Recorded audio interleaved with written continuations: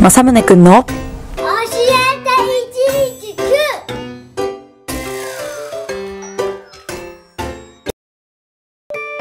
119ネット119は聴覚や言語機能の障害により音声での通報が困難な方が救急車や消防車を呼ぶ必要があるときに携帯電話やスマートフォンを使って自宅や外出先から119番通報できるサービスです。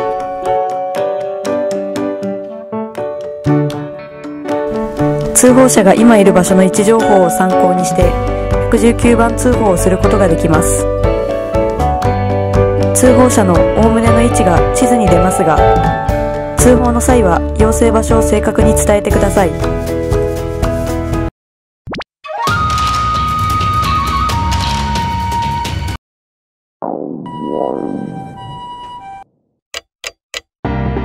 アプリを起動して救急もしくは火事を選択します。自宅もしくは現在いる場所のどちらかを選択します。あなたの大体の現在地が表示されます。場所の決定は正確にお願いします。通報場所を決めたらスライドをして通報を開始します。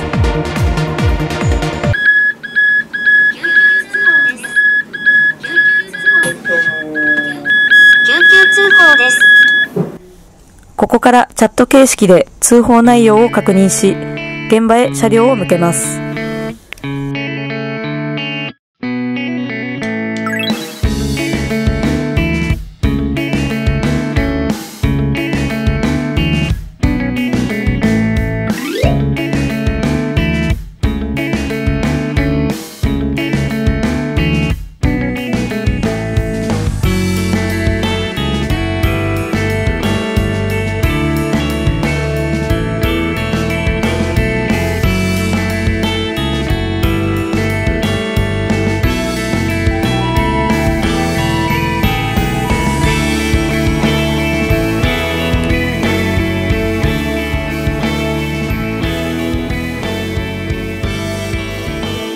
通報の手順はこれでおしまいです。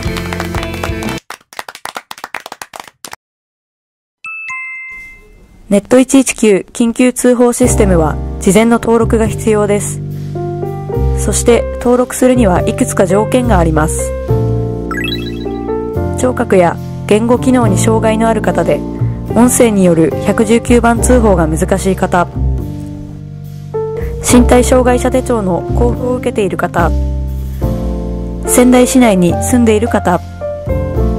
スマートフォンもしくは携帯電話を持っている方。